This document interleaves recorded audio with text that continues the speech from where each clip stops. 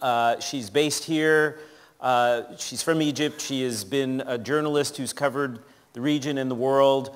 Um, and in uh, the last year has emerged as a leading voice, uh, I think, uh, explaining what's going on to Western audiences, um, and also as a, a, leading feminist voice on very important issues that are going to continue to arise in both before and after these, uh, these revolutions take place. Um, and Mona uh, decided uh, that what she wanted to talk about was the, I think, the, if I understand it correctly, the revolution that really is happening in people's minds. Um, I give you Mona Eltahawy. Thank you, Tahawy. Hi, everyone. Um, I want to thank Micah and Andrew for um, inviting me to take part, and I want to salute my fellow Egyptians who already spoke, and, yes, and salute the revolutions everywhere and those to come. In 2005, I was sitting on the balcony of one of my aunt's homes in Cairo, excitedly explaining to her family and a guest about these demonstrations that I'd been taking part in and her, her guest looked at me and said, what do you think you guys are going to do? You think, first of all, you're going to do anything to Mubarak? You think the Americans are going to let you do anything? You know, it's just a bunch of kids with messy hair like you who think that anything will change. And so to people with messy hair everywhere, especially Ala, because as you can see, us Egyptians have uh, full heads of hair, um, don't give up. Because Ala is actually the reason that I was in those demonstrations in the first place, and I always love to tell this story, because what I want to discuss with you today, especially regarding social media and its intersections with revolution, is the power of the I.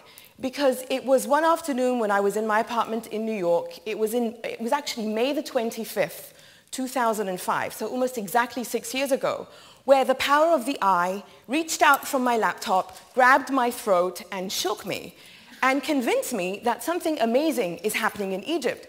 And that I was Ala's voice, essentially, in his blog, describing what it was like to be at a demonstration that day that was against a, a referendum that was suggested for the constitution. That's not what's important now.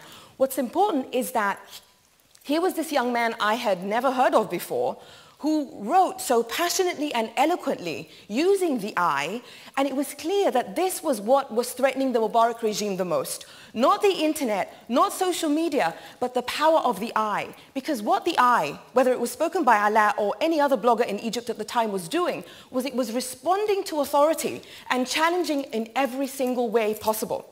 And that day was, uh, was responsible for a whole bunch of other eyes, i.e. politicization of others in Egypt who had never been politicized before.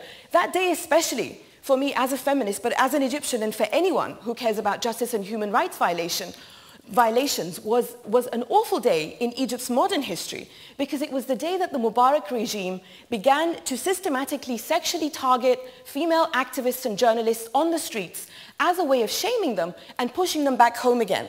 And so on May the 25th, many female activists and journalists had their clothes ripped off their backs, had their headscarves removed, were pushed to the ground, and rape was simulated on their bodies.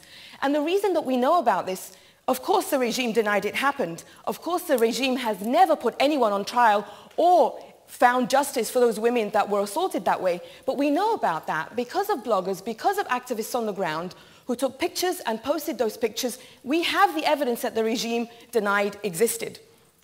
And where the I came in was when some of those activists went on satellite television and spoke about those things. And my extended family, that was not very politicized over the past few years, were watching these women speaking, and the I came out. And they said, this is outrageous. One young Egyptian woman I met when I did move back to Cairo because of the power of Ala's eye, I met her in June, soon after I met Ala, and he took me to my first demonstration. And she told me, you know, when I heard those activists talking about those sexual assaults, I, was, I sat there and I thought, my family gets a say in what I study at university.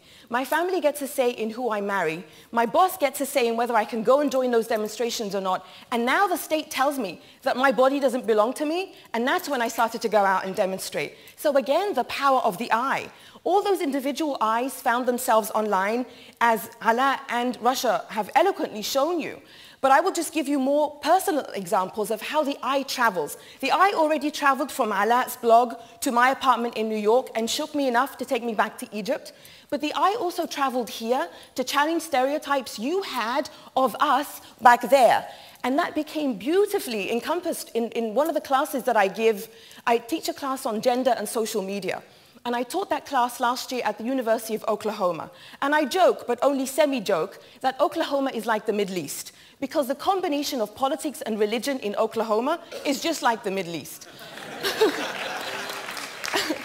and so there I am in my class in Oklahoma. And the best way for me to convey the I to them, the I that they would never hear on American television when my students, when I met them, were in their early 20s, late teens. So of course, when, when the invasion of Iraq happened, they were what, 13, 14? So they never heard any I from Iraq. Because the only time you heard Iraq being, Iraq being discussed on US TV was whether you were for Bush or against Bush. So I assigned them Riverbend, the Riverbend, um, the, the, the, blog written by the young Iraqi woman. And their papers, and I, and I, I signed, uh, uh, her blog was published in two book forms, and they had to write book reviews. And almost every single one of mostly those women in my class, and it was one man, it was women and gender studies, what could I do? And almost every, excuse me, almost every single one of them said in their book reviews that they had to put the book down because they could not believe the power of that I, and they had never in their lives heard what it was like to be a young Iraqi woman at the receiving end of shock and awe. So there again is the power of the I. She's sitting there saying, I'm just an ordinary Iraqi woman. I just wanted to go online and rant, and I found this thing called a blog, and here I am ranting. And the other amazing thing about the power of the I there was that most of those people in my class in Oklahoma were either from military families or knew someone in the US military. So all the eyes, all the narratives they had ever received were from the US media side or the US military side. But here was a chance for them to hear someone on the opposing side that they had never heard, that they had never heard from before. The other I that I love to also share with my class is the I from Saudi Arabia. Because we, another country we often hear about where, especially because the US and foreign policy and WikiLeaks and that awful toxic combination. And I always tell people, I, I, will kill you. I will literally kill you if you call this a WikiLeaks revolution. Because if WikiLeaks should have created a revolution, it should be right here in the US because of, because of the hypocrisy of US foreign policy. Nevertheless, Saudi Arabia, the narrative that you get of Saudi Arabia is the Saudi royal family is very modern, it is very liberal, but it's the Saudi population that is holding them back.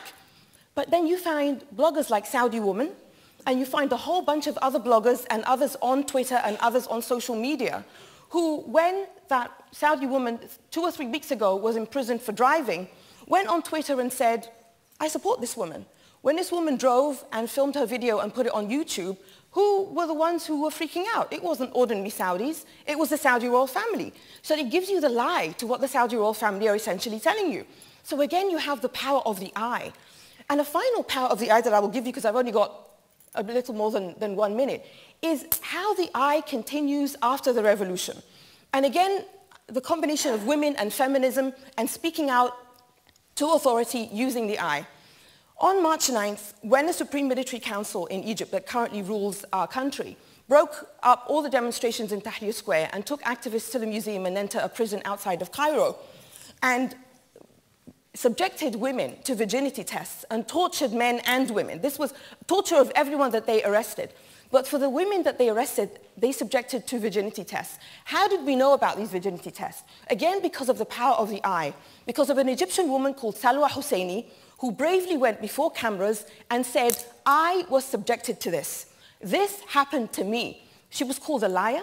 She was called someone who was ruining Egypt's reputation. And it's only last week when a general, speaking on condition of anonymity, admitted that the Egyptian military had actually done this to those young women.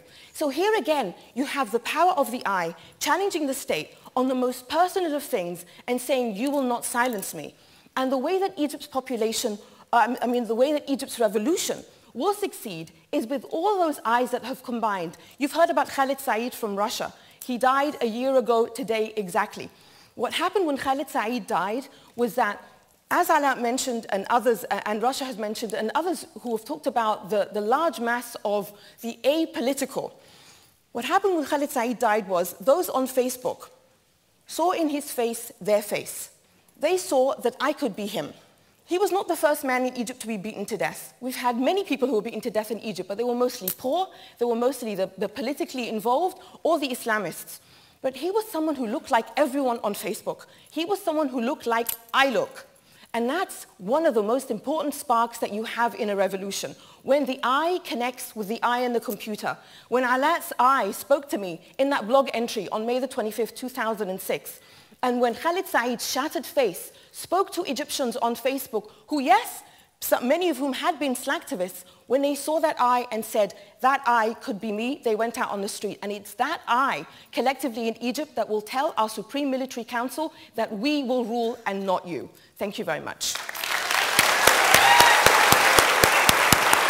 Thank you.